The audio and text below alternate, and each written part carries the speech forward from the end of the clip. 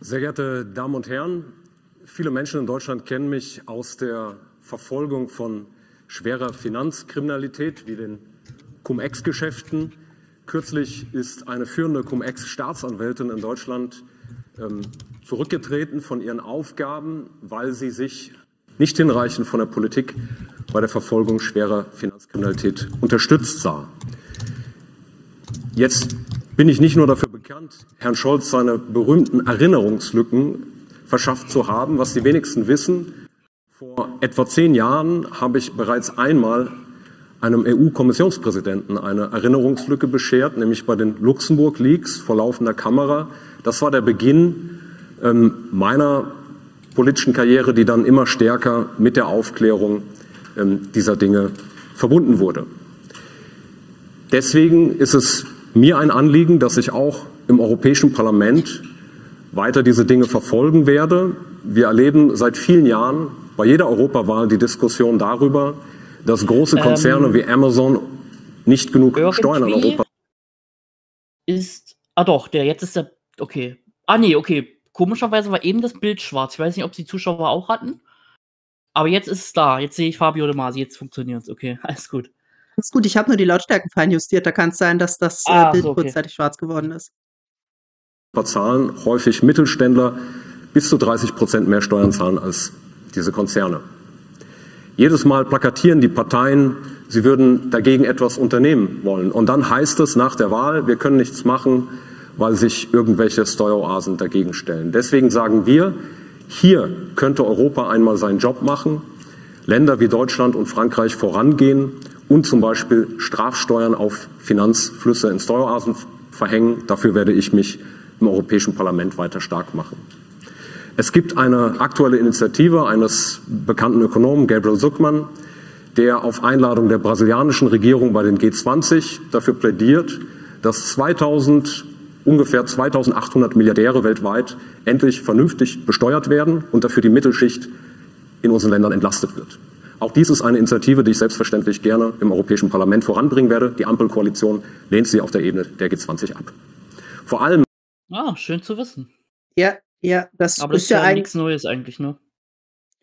Nee, solche Initiativen, solche Forderungen gibt es ja immer wieder mal. Jetzt gibt es die von Suchmann und es ist äh, gut, dass Demasi das aufgreift. Also hier haben wir mhm. ja einen ausgewiesenen Wirtschaftspolitiker, das war Demasi ja in der Linkspartei, der ist dann ja eher aus Versehens zum Cum-Ex-Aufklärer geworden, weil sich da kein anderer drum kümmern wollte. Aber äh, Demasi, viele wissen das vielleicht, der hat auch Maurice Höfgen in der Linkspartei nach oben, äh, oben gebracht. Der hat ihn überhaupt in den wissenschaftlichen mhm. Dienst des Bundestages geholt wer ihn kennt. Hm, ich weiß auf jeden Fall, dass sie mal irgendwie miteinander zu tun hatten und ich kriege das auch auf Twitter aktuell mit. Der ist ja da wirklich gerade dabei, ne? Um darüber zu so ein bisschen, bisschen zu berichten über dieses Cum-Ex. Ja, da, da von Scholz die, und Co. Da hat er die ganze Zeit schon drüber berichtet, als er nichts mhm. mehr zu tun hatte. Da hat er, nachdem er aus dem Bundestag ausgeschieden war, quasi noch weitergemacht. Ja, finde ich gut. Ja, und äh, Sorgen wir auf jeden Fall jemand, der auch Ahnung vom Fach hat, ne? Also das ist keiner, den sie da irgendwie, die haben da wirklich einen guten Mann dran gekriegt mit Fabio De Masi. Ja, auf jeden Fall. Das BSW. Äh, deswegen, ich dachte eigentlich, der hört auf mit Politik, als seine Linkspartei fertig war, aber mich richtig gefreut, als ich dann gesehen habe, ach, der tritt jetzt im BSW bei. Ich hätte ehrlich gesagt nicht. Also ich weiß, die sind so halbwegs ne, miteinander irgendwie aber dass sie doch, dass er dann doch der Partei ganz gleich beitritt, also hätte ich nicht gedacht. Aber ja, umso besser. Für uns aber in Deutschland derzeit um die Situation unserer Wirtschaft. Wir sind Schlusslicht unter den Industrienationen und mhm. mitten in dieser Situation, nach einem Energiepreisschock, mutet die Ampelregierung denen mit schmalen Geldbeutel Wiedererhöhung der Mehrwertsteuer zu, CO2-Abgaben, die überhaupt kaum eine ökologische Lenkungswirkung entfalten können, weil wir gleichzeitig in den letzten Jahren hier in Deutschland über 5000 Bahnkilometer abgebaut haben. Die Bahn plant ungefähr 60 Bahnkilometer, Streckenkilometer im nächsten Jahr. Und daran sehen wir die Größe der Aufgaben. Es müsse jetzt endlich investiert werden in die zivile Infrastruktur in Deutschland.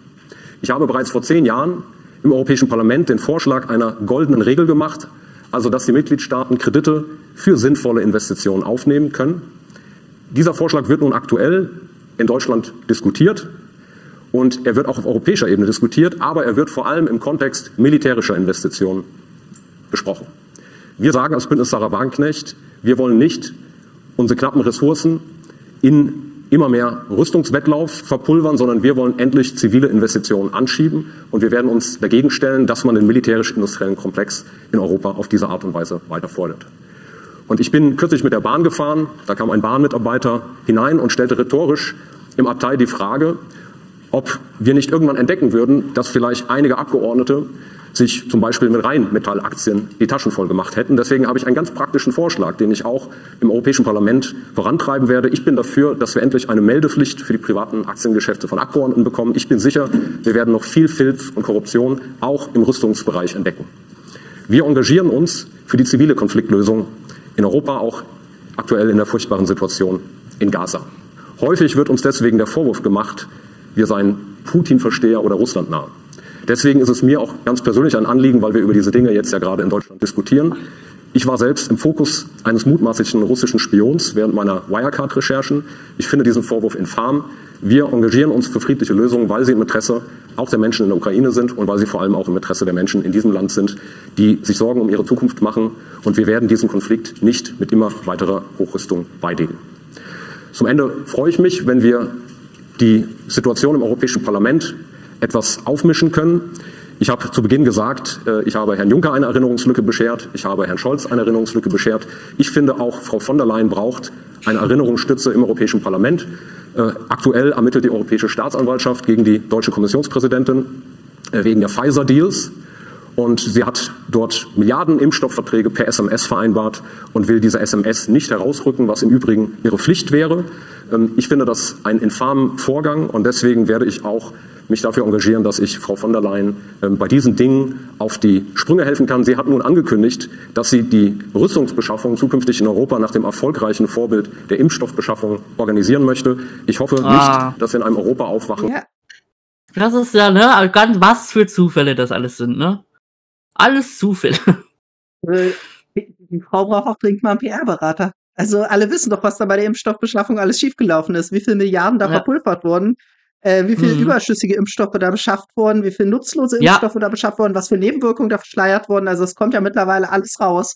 Und ähm, da sagt sie jetzt die Rüstungsbeschaffung, also wo nochmal hunderte Milliarden reingepulvert werden sollen, wo selbst die CDU einen gemeinsamen europäischen Rüstungskommissar fordert, da will von der Leyen jetzt genauso vorgehen. Also wie gesagt, die Frau braucht, glaube ich, mal einen neuen PR-Berater. Es ist unglaublich, ne? Das ist.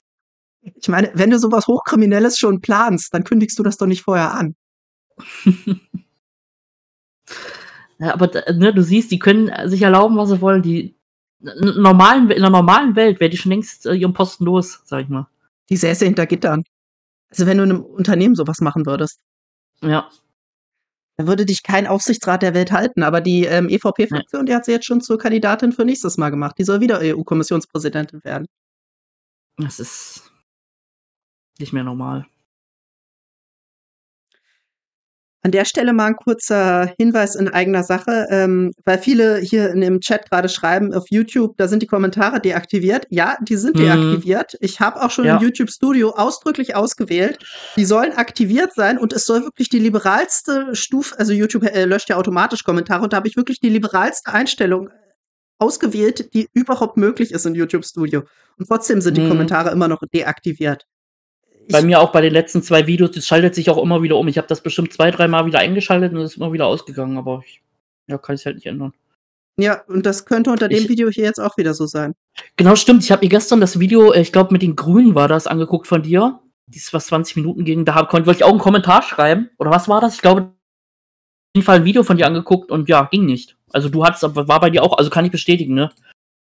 Äh, dass das wirklich von YouTube aus ist. Ja, das hat auch viele andere Kommentar äh, Kanäle erwischt. Ich glaube 99 zu 1, Paul Brandenburg, René Wolf. Mhm. René Wolf hat es angeblich wieder eingeschaltet bekommen. Wie er das hinbekommen hat, keine Ahnung. Aber bei mir hat das in YouTube Studio, obwohl ich es wieder eingeschaltet habe, nichts geändert. Ja.